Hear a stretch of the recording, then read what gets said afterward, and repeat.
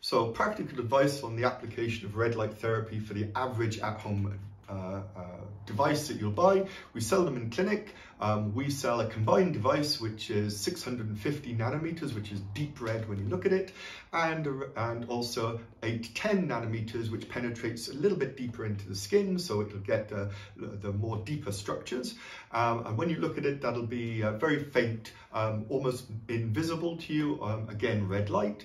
What you need to do is you need to have that uh, uh, device around about six inches away from the painful area. So if I have it on my chest, about six inches away from my chest, and you want to have it on the um, above the area of pain for around about eight to 10 minutes. You can do that up to three times a day, and you need to make sure that whilst you're doing it, you stay really, really so the laser and the LED, the bulb that you would normally buy, two different things um, in terms of how the beam is uh, collimated, how it's focused. So with the average device that's an LED, a light emitting diode that you buy off Amazon or the one that we do in clinic, absolutely safe to look straight at it um, with your eyes open. In fact, there's a lot of evidence coming out of uh, Japan that's showing some really, really nice evidence for it helping to uh, uh, uh help um, something called age-related macular degeneration. And so yes, absolutely, eyes wide open, hair straight back, makeup off,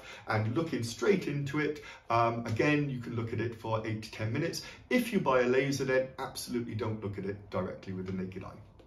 Nice.